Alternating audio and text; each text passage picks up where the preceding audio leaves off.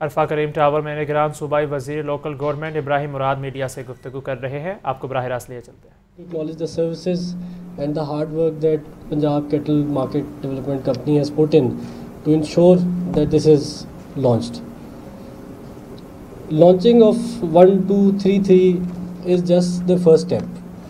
Obviously, making sure that this is a successful project will require continued collaboration and continued assistance and continued you know hard work of all the relevant players. And it also uh, you know requires good solid input from the citizens. Because if you create the best product and you don't have people using it then there's no use. You have a team sitting and then you have designed this you know product 1 2 3 3 and we all gathered today to inaugurate it. But if citizens don't use it, then it's all useless.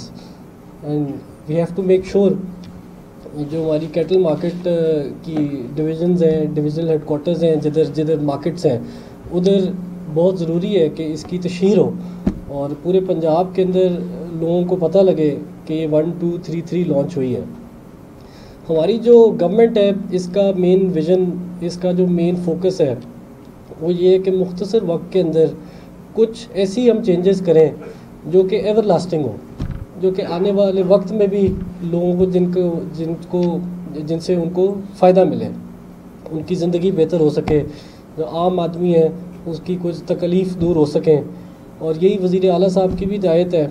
और इसी के तहत हमने सोचा कि जब तक आप सिटीज़न्स की शहरीों की इनपुट नहीं लेंगे तब तक आप बेहतरीन सर्विसेज़ डिलीवर नहीं कर सकते। क्योंकि दफ्तर में बैठ के अगर आप सोचें कि ये चीज़ करनी है और इस तरह है और इसी तरह चलेगी और यही बेहतरीन काम है तो ऐसा जो है आई एम सॉरी कि आप अच्छी पब्लिक सर्विस डिलीवरी नहीं दे सकते। तो मेरा और इस हुकूमत का फोकस है कि हम सिटीज़न्स की इनपुट लें, ख़ास तौर से इस पॉइंट ऑफ़ टाइम में जिसमें एक पब्लिकली इलेक्टेड आपके पास रिप्रेजेंटेशन नहीं है।